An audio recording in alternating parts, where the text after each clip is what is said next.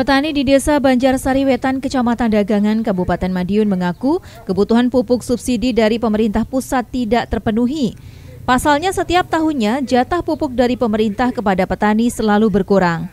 Mereka juga mengaku resah dengan beredarnya pupuk bersubsidi ilegal yang langsung menyasar ke beberapa kelompok tani. Diduga kebutuhan pupuk subsidi yang tak terpenuhi dimanfaatkan pihak tertentu untuk berbuat curang, yakni mengedarkan pupuk subsidi ilegal demi mengeruk keuntungan pribadi. Taknya subsidi ditambah, jadi biar bisa merasakan rakyat. Kalau biasanya Bapak dapat alokasi berapa, terus sekarang berapa? Kalau biasanya kan tidak ada standar seperti ini. Ini kan per kotak kurang lebih 4 40 kilo kalau oh, per kotak. Nah, standarnya berapa, Pak? Standar petani 80. 80. Jadi setengahnya, Pak ya? Setengah. Terus untuk memenuhi kebutuhan pupuk Bapak bagaimana? Non.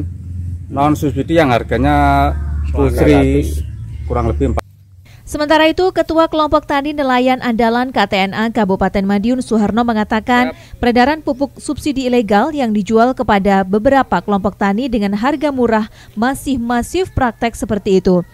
Pupuk subsidi ilegal tersebut beredar di sejumlah wilayah, di antaranya Kecamatan Kebonsari, Dolopo, Madiun, Sawahan, Jiwan, dan Balerejo. Petani yang penting kebutuhan pupuk tercukupi dengan tidak non subsidi kan begitu ya.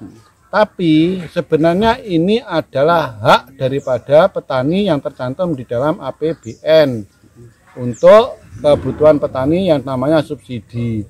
Nah, oknum-oknum yang menggunakan itu semuanya ini mestinya harus segera KP3 Komite eh, Pupuk dan Pestisida ini harus bergerak dengan cepat uh, se seperti apa yang terjadi di Nganjuk. Mm-hmm. Madiun sudah parah mas, mulai daripada Bonsari, Telopo, kemudian uh, Nglames, ya, kemudian Sawahan, Jiwan, Balirejo. Ini semuanya sudah uh, dipakai pupuk-pupuk ditambah ya, ditambah pupuk-pupuk dari subsidi tapi ilegal. Hmm.